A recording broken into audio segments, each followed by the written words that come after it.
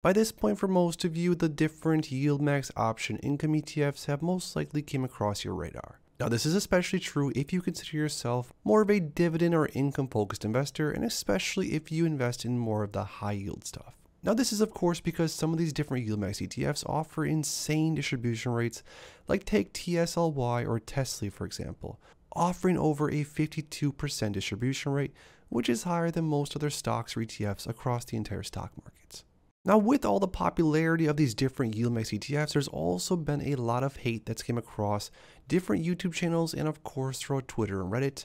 And in some circumstances, maybe for good reason, a lot of different investors are concerned about the fact that a lot of these different YieldMax option covered call ETFs tend to lose most of their value over time, even if they do distribute a massive dividend along the way. Now, on top of that, there's also tons of other investors that say if you want to invest in something like TSLY, the YieldMax Option Income ETF, you'd be better off just buying into shares of Tesla, which is the underlying stock that Tesla sells covered calls on synthetically. Because the year to date performance of Tesla is 127 plus percent, and that's of course not even including a dividend.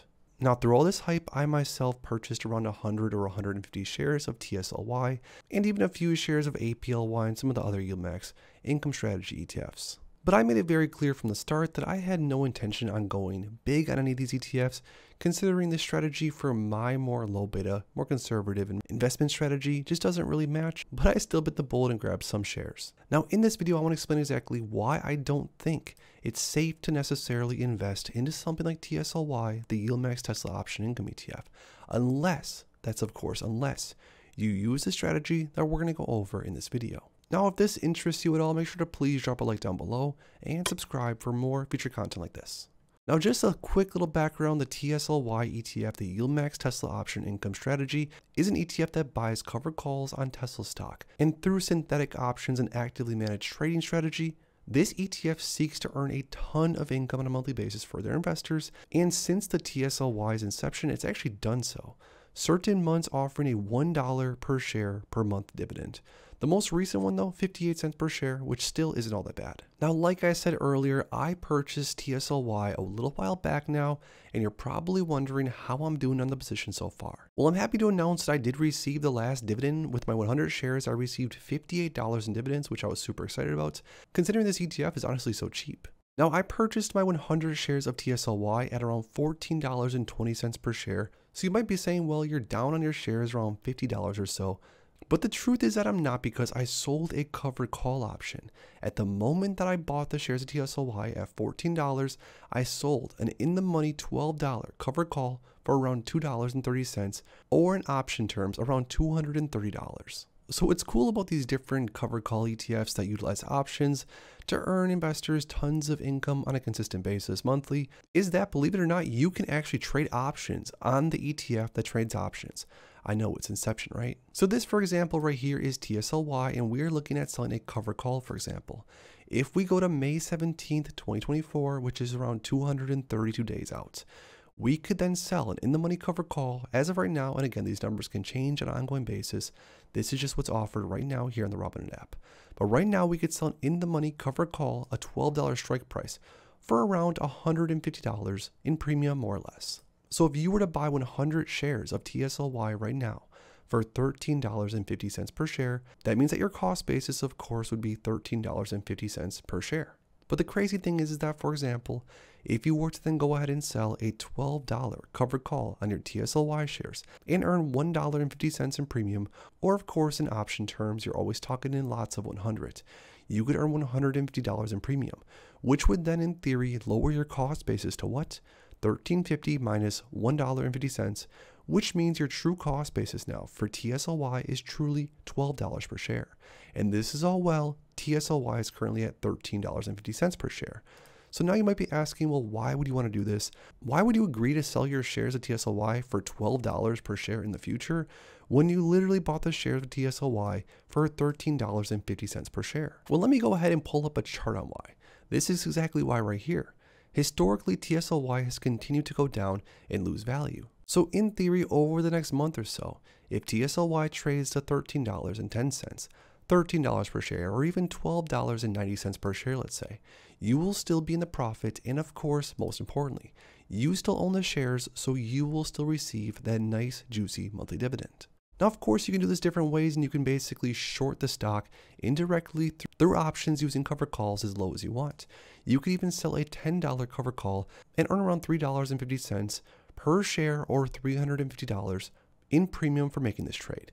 Now, what does this mean? This now means that you bought your shares of TSLY for $13.50 per share, of course, which is right here. But because you're selling the cover call with the $10 strike price expiring May 17th of next year, now your true cost basis is what? It's $13.50, which is where you bought your shares, minus $3.50, which is how much premium you earned per share times 100. So now your true cost basis on TSLY is what? It's $10 per share. Now, don't get me wrong, this still means that you are willing to sell your shares of TSLY for $10 per share on or before the expiration date if and when the buyer of this option decides to do so. But within the next few months, if TSLY continues to trade down like it has for the most part, over the long term at least, if TSLY trades down to, say, $12 per share or even $11 per share, even if TSLY, let's say in three or four months, is down to $11 per share from $13.50, $11 per share is still $1 per share higher than your new cost basis. And of course, three or four months from now, if the shares don't get called away, you will of course be earning the dividends on a monthly basis. Now, the hard thing to know, of course, is how big are the dividends going to be, and that all depends on things like how Tesla trades within that monthly time frame. But if one thing's for certain, the dividends are going to be decent at least, because historically speaking, they've definitely been that and more. So what's awesome about buying more of a risky, in my opinion, covered call option income strategy ETF like TSLY and pretty much like any of the different YieldMax option income strategy ETFs is that you can use this exact strategy. And of course, we don't know what's going to happen in the future. We don't know if TSLY is going to skyrocket or right here APLY, but at least how the market has been trading as of recently, a lot of these different covered call ETFs have been trading down and down quite a bit. So next you might be asking, well, that sounds pretty interesting. What is the actual risk here? So the actual risk, of course, is that if you sold a $10 strike price covered call with TSLY and you earned $350 in premium or $3.50 per share, of course. If TSLY within this time frame dips below, say, $10 per share, well, then of course you would start to be in the red because you bought your shares, let's say at $13.50 per share, you sold the $10 call, and you earned the 350 in premium.